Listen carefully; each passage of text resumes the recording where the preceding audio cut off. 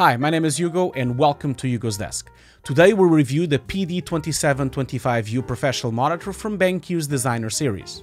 Before we get started, full disclosure, BenQ did send me this monitor to test, but just like all my other reviews, when I get these monitors I use them on my professional work. Just for reference, I'm a director and visual effects supervisor working in the industry for over 20 years. I've been doing professional editing, grading, compositing, and visual effects for some of the biggest brands and companies in the world. So this review today is my honest opinion from a real work scenario. It's my experience using the display in a real production environment. Unfortunately, I can't show you what I'm currently doing with the monitor because of NDAs. I can only say I'm directing and grading a cinematic for a AAA video game. But I can definitely give you my full review and opinion by using similar projects and footage from other cinematics that are out already.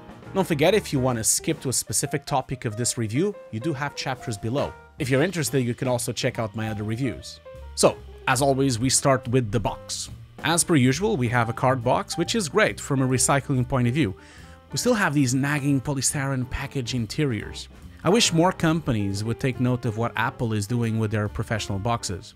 Both the Mac Pro 2019 and all the GPU upgrade boxes are completely done in cardboard. The external design looks very slick and very modern. I like the frame and the very small edge. There's no bevels whatsoever. This makes it much easier to have two or more monitors side by side or even top to bottom. The monitor weighs about 5.6 kilos without the base and 8.3 kilos with the base. Be aware the back is rounded and the base is quite deep. So it takes a lot of space on your desk. You can't really easily have it against the wall. But this is of course not a problem if you're planning a VESA wall mount. The screen itself is 36 centimeters high, 61 centimeters wide, and 6 centimeters of depth. This is without the base. The base is very strong and very thin, much better than the SW and PV series. I've never liked the odd round shape, makes it very hard to keep stuff on top of them. This base on the other hand is completely flat, makes it great for you to have a phone charger or other stuff around.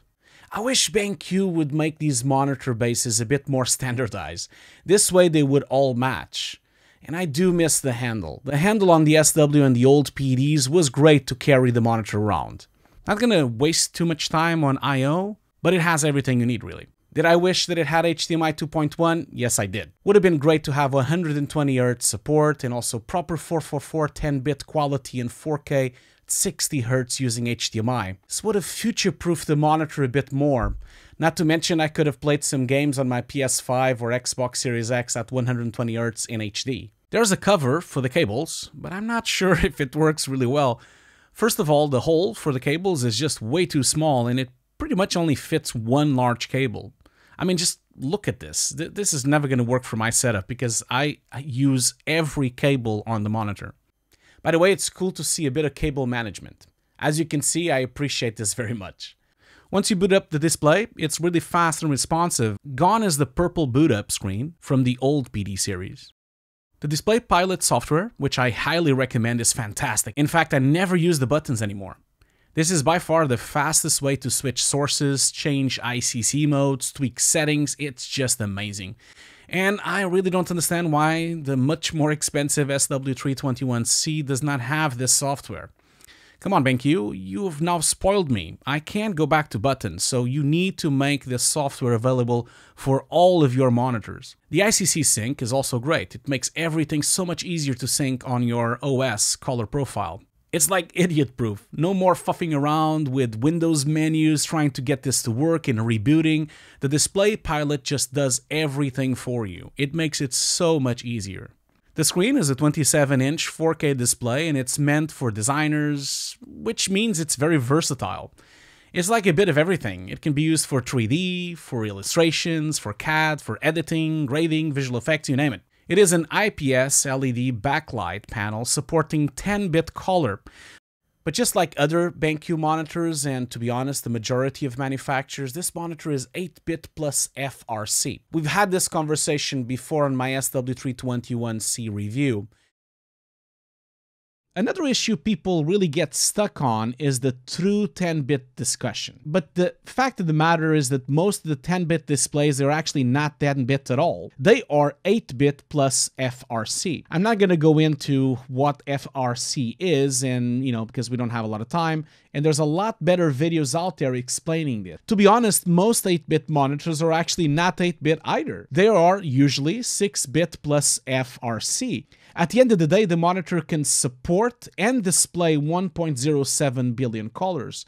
I think the question we should be asking is should monitor manufacturers be more transparent about this? Yes, they should, absolutely. This is an industry problem. I mean, BenQ, LG, HP, Asus, Anso, they all do this. All of them should be more transparent and write 8 bit plus FRC on the specs on the website. And perhaps explain to people why they have to simulate the two extra bits and what the costs implications are. And at the time of recording this video, the cheapest way to get a full 10-bit monitor is to buy an Asus or an Eizo or an Apple XDR, and they're much more expensive than this monitor. 4K is just amazing to have, not only because it's future-proofing, but I mean, I, I can't go back to HD or 2.5K anymore. It's so good to have so much space to work, and, you know, I can also check my footage and my assets at one-to-one resolution. Makes it much easier to judge color and to judge, and also to quality control the edges, to quality control my renders, it's just a different pipeline. You know, it's it's so different when you watch everything at one to one. And I always advise everyone try to watch everything you produce at the biggest size you can. Just to make sure there's no problems, because imagine if your footage is going to be projected on a big, big cinema screen, anything, one pixel becomes a huge thing. Having said this, you probably want to scale up the fonts on the operating system's level because this shit is small in default settings. I'm getting old now, so I, I, don't think I can read them if I leave it in default. So I usually pump up the fonts on the OS level. If you need to bypass the macOS resolution and display options, which in my opinion are very simplified, I would suggest to use SwitchResX. I mentioned them on my SW321C review. I promise I'm not getting paid by them, but I need to shout out because this software is a lifesaver on the Mac. I just wish Apple would implement some of this stuff, or maybe they can just buy them. Surprisingly, the blacks are pretty deep for an IPS panel. I mean, it's not an OLED, but, but keep in mind it's a 10-bit compatible display with 100% color accuracy on sRGB and Rec. 9, so it's, so it's pretty impressive. It's also compatible with various video formats it can run 24, 25, 30, 50, and 60 frames per second. It also works with YCbCR at 420, 422, and 444, both on 8-bit and 10-bit, with some limitations, of course, because of the HDMI 2.0. Having video format support is a must, especially if you are an editor and you need a cheap reference monitor in Rec. 9. It also supports 12-bit, but of course the monitor internally converts it to 10-bit. This is great, for example, if you want to grade on DaVinci in 12-bit or 10 on your timeline.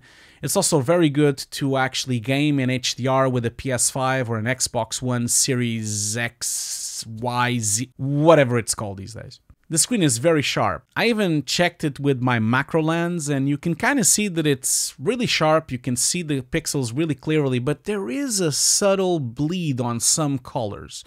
Nothing major, of course, but this is very typical on an IPS display because the IPS cannot switch off the pixels on black like an OLED. But again, we keep saying this, an OLED is so much more expensive. The corners also have a very small amount of light bleed. In fact, only when I push my camera to the maximum ISO settings can I even see it. But of course, now I'm actually going beyond what my eyes can see. I'm like checking this on night vision almost, or even uh, like a cat's vision. Of course, you should temper your expectations since IPS panels have always had more light bleed than an OLED. If you need pure blacks, an OLED is the only way since you can literally switch off individual pixels. Keep in mind this monitor is not hardware calibrated like the PV or the SW series from BenQ, so you pretty much have the factory calibration to work with, but of course you can make your own custom calibration if you prefer. In terms of modes, we have a lot of flexibility. We have 100% sRGB, which is perfect for print, web, and design. I always use this mode when I'm doing posters, thumbnails, or delivering print or graphics. We also have 100% Rec. 709, which is great for editing, broadcast, and grading. I mostly use this mode every day for making game cinematics, YouTube videos, trailers, short films, and even cooking videos. It's time to plug my wife's vegan and vegetarian YouTube channel. Check it out if you like good food. Because, you know, we all have to eat. We also have 95% P3, which is great for web and phone app development, since most phones use a P3 color profile. In fact, Display P3 is a great choice for design work since it's a combination of DCI P3 from Cinema with D65 white point together with an sRGB gamma curve. Obviously, I'm oversimplifying what Display P3 is, but you can find out more online. Of course, we do have extra modes, but they are nothing more than bespoke color correction LUTs. They just provide you a quick way to change the settings to better fit what you're doing. For example, the dark room mode adjusts the image brightness and contrast for more clarity and sharp details on a very dark environment. So it's great for photo editing, for example. Of course, this is just for previewing or for working, do not use them for final delivery. They are just here to lift and increase visibility. Think of them like f-stops and gamma sliders inside of Nuke's viewer. It's just a way to test your work and it makes it much faster than switching the settings on the fly. For example, the animation mode brightens up the dark areas without overexposing the bright areas so that you can see the subtle regions and preview your animation in more detail. The CAD mode is very good for contrast in lines. We also have a bespoke M-Book mode that makes it easier to match the look of a Mac laptop. I find it cool because it's like a quick way to just match your laptop to your display, but I Personally, for my work, I still would calibrate the display separately using an X-Rite or a color meter calibration. The cool thing with this monitor is if you don't want to use the factory calibration, you can go really granular since it has every manual setting you need to perform a very accurate calibration. It even has an option to run gamma from 1.8 to 2.6, making it very flexible and great for video referencing at gamma 2.4. Pip is just the pip, picture in picture. Still don't really know what the hell you can do with this. Maybe someone has real world applications for this, because I don't know what to do with it. It's a very awkward function. Dual view is pretty handy because it allows you a split screen, so you can check two modes at the same time. It's very handy to test your hard work in different delivery displays. Like, for example, you can check how your client sees a normal hard work with sRGB and also with P3. This is great for previewing stuff. This monitor also has a really cool picture-by-picture with four different individual inputs. This means you can display four HD one-to-one -one screens inside its 4K resolution. This is very handy if you need to preview four video signals. As you can see here, I have one laptop, one computer, one video reference out of a Blackmagic Ultra Studio 4K, and an Xbox Series X. One little small nitpick is that the HDR does not work on individual signals, so you can really only do this on SDR. This design monitor is both Calman verified and Pantone validated, and it's the first HDR 400 BenQ monitor that I've tested. And to be honest, I'm a little bit underwhelmed. It's not much brighter than the SW series, which supposedly is only 250 nits, and this is 400 nits. So it's not really making much for me. As I mentioned in my SW321C review, no one should be using these monitors to grade or deliver HDR. For that, you need at least 1000 nits. Having said that, this display works well if you want to preview or just test your grade. I, for example, use it to just check HDR and to check it how it looks on a more consumer-like display. They also work really well when playing games in HDR. As seen here on Forza Horizon 5, I must say for anyone that loves racing games, Forza Horizon 5 just looks absolutely stunning. It's almost photoreal at some moments. It's a beautiful game. Really recommend people playing it, and I, of course, would recommend it very much to play it on an HDR display like this one in 4K. There is some noticeable improvement on banding from the older PD series. it almost matches the high quality HDR from the SW321C. Banding is much more reduced this time. Here you can see it compared between the older PD3220U with HDR10 and this newer model, the PD2725U, with HDR 400. One of the coolest new features of this monitor is the daisy chain and the Thunderbolt charging. This allows you for you to use one single cable to connect your laptop and still charge it and even use the USB ports on the monitor. It even takes it one step further because you can daisy chain the monitors. So that means you can extend your desktop with one single cable between the two monitors. The monitor also supports a KVM switch for two computers, but I don't use that setup, so I haven't tested it.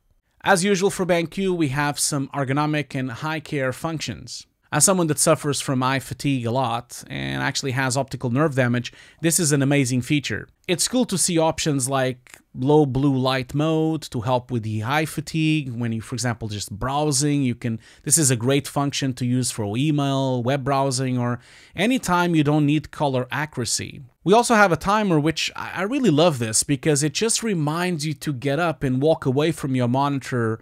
You can set up the timer to every 15 minutes or half an hour. This is great, especially for those of you that get really into work, you know, into your creative work and you forget to get up sometimes. It's very important to check if the factory calibration holds up to this piece of paper. Yes, this is the calibration report that comes in the box. Now, according to BenQ, they say this monitor has a delta average below 3. But I'm going to say that a good monitor should always really have an average delta below 2. Let's check if the factory modes can hold up to a color probe test and if they actually match to this piece of paper. Using Calman, which is the industry standard in color calibration, and an X-Rite probe, I tested all the factory modes of this monitor, both with uniformity switched on and uniformity switched off. As you can see, everything was below an average delta of 3, so like BenQ mentions on the website, this is correct. In fact, sRGB was actually only 1.1, this is below 2 now, and display P3 was only 2. These are very impressive results.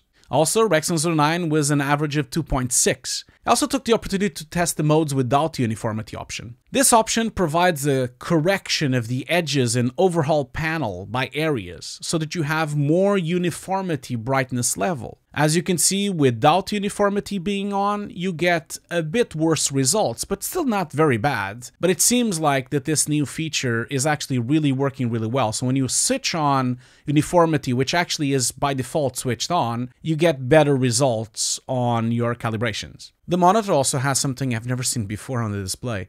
It has a burn-in cleaner function that helps to remove the burn-in on a panel. I don't have any burn-ins at the moment, which is good since I always switch off my panels, but this function is very welcome if you, for example, have a desktop interface that has been burned in into the picture. I'm not really reaching the 1.2 delta average of the factory calibration report, but let's be honest, BenQ is using a much more expensive Konica Minolta CA310, and I'm just using a much cheaper X-Rite. I still think a delta average of 2 is very good for a display under a thousand pounds. I also took the opportunity to test the uniformity of the display. I got really impressive results. With uniformity switched on, it passed the test across the board with a maximum deviation of 5% and only on the right side of the corners of the monitor. The rest was either 0% or 1. Now if I turn off uniformity I get a very different story. Then I get much worse results with a range of maximum deviation of 11%, which is not a pass, and the rest ranging between 6 and 10. So it's obvious that this new feature from BenQ, they introduced this a few years ago, it's really working very well. You can clearly see it here on this gray image. Look at how much vignetting you're getting on the edges if you switch off uniformity. Having uniformity on is crucial if you're going to do photo editing or grading you really don't want to be grading with a built-in vignette on your display. Regarding the temperature of the display, around one hour of HDR at max brightness use, I get these measurements which are pretty good. But as usual on these displays, it gets, it gets much higher temperature on the bottom area. I wonder if this will affect uniformity in the long run, but only time will tell. But I, I don't think so, since other monitors I have have never really been different because of this. The dimensions are all clearly stated on the documents, but I just wanted to mention that the monitor does not go down enough, in my opinion. the maximum you can lower it is 8.5 centimeters from the base. I wish you could go more down, just like the PV and the SWs. On the other hand, the monitor goes pretty high on its stand. It can go as much as 22 centimeters from the base. This is great if you have, for example, a Stream Deck to put below, or even if you want to put a tangent gradient surface below as well. Or if you want, you can just have some pens and papers around. Now let's talk about the power consumption. It's okay for this type of display, but the power certification rating is very low, which is somewhere understandable. This is a professional monitor, so it packs a lot of power to get that HDR 400, but I hope that manufacturers of monitors can deal with this in a better way in the future. At full power, in HDR mode, the monitor consumes about 44 watts, and on standby it consumes about 5 watts. In a way, I wish that it had an actual power button, so, after all of that, what are my final thoughts and my pros and cons? Wrapping up the review, let's start with the cons first. The lack of hardware calibration is a shame. This would have made this monitor a must for color critical work. The lack of HDMI 2.1 is really puzzling since 2.1 was introduced back in 2017. I mean, HDMI 2.0 is almost 10 years old at this stage. This means that the HDMI port does not support proper 10-bit 444 at 60 frames per second. And also it does not support any video format at 120 Hz. Of course, if you need 4K 10-bit uh, with 60 FPS, you can still use the DisplayPort, which is 1.4, or you can use the Thunderbolt 3. Those are completely compatible and they to be honest, they're so much better than HDMI 2.0. HDR 400 is, like I said, underwhelming. At this stage, I just want an HDR monitor at 1000 nits, even if you have to drop the quality to 420 or 8-bit. But I understand it's much more expensive technology, so we'll have to wait for the costs to come down. Obviously, if you don't use or you don't need HDR, then this is not an issue at all. My final con is the power consumption rating being a G. I understand that this is a professional monitor, but I hope manufacturers, not just BenQ, everyone, can solve this problem in the future, especially now with our current climate emergency. And now for the pros or positives, which there are many. The Display Pilot software is amazing, making buttons completely obsolete. This type of control should be standard with all displays, regardless of who's making them. As is the ICC Sync, it makes switching profiles a breeze, even for people that don't have a lot of technical knowledge. It's completely idiot-proof. I do like the slick design, it looks really pretty and it's very functional. Having delta below 2 on the most important modes is fantastic. This is really a testament to BenQ's commitment to making affordable professional grade monitors. The daisy chaining and the M-Book modes are great if you want to hot swap laptops. And it solves this problem of matching your laptop screen to your monitor. Having all these ergonomic and eye care features is a great step. I hope the SW series can also have some of this. We've talked about this on every review from BenQ, but the external hot puck controller is just fantastic. I can't use anything else anymore. I'm so spoiled now, I, I can't really go into the buttons anymore. Having video format support is a must, especially if you are an editor and you need a cheap reference monitor in Rec. 709. I really like the custom modes like Darkroom and CAD. They're great for quick checks, without having to change the settings on the display. HDR has a lot less banding than the older PD series displays. This is great if you want a game at 10-bit or even a 12-bit. So for the moment of truth, do I recommend this monitor for a professional in the creative industry? Yes, I do. I guess you could say it has my seal of approval. And to be honest, I'm using the display in my office with my professional work already. I would not use the monitor if I thought it was not good. And that is it for today. Sorry for the long video, but there was a lot to say. As always, if you like my content, maybe consider subscribing to the channel. It is completely free. And if you really like my videos and the podcast, maybe join my Patreon or become a member on YouTube. You get early access, you get your name on the end credits, among other perks. I hope you have a great day, and I'll see you on the next video.